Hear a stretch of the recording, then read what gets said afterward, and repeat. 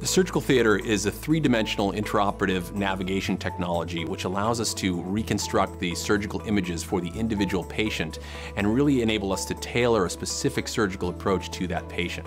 Before, we looked at landmarks on the surface of the skull, we looked at you know, where the eyes were, where the ear was, we drew a line between them, and then we moved up two centimeters, and that's approximately where the tumor was.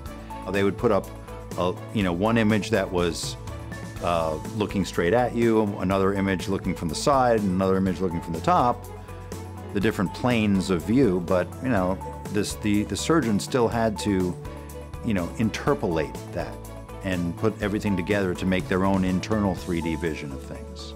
Now, with the advent of surgical theater, which is based on three-dimensional flight simulator technology from F-16s, it allows us to do a three-dimensional reconstruction of the image before surgery.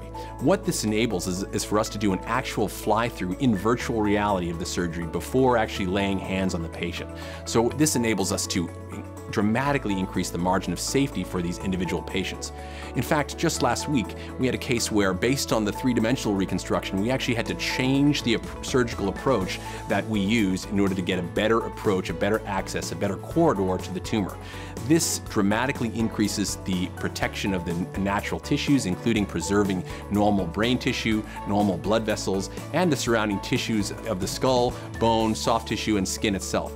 It allows for increasingly minimally invasive approaches, uh, which are better for patients. They have fewer complications, shorter hospital stays, less blood loss, and better overall outcomes. We're the first center in Orange County to have it. And in fact, we're the first private hospital west of the Mississippi to have it. So it's amazing that we're able to bring this here to Hoag. And it's because we've got such a great community surrounding us that are interested in advancing, the, pushing the, the perimeters of medicine and making things better and safer for the patients. I mean, this is the era that we live in, using these rapidly advancing technologies to increase the safety and efficacy of what we do and allowing us to tailor it to each individual patient.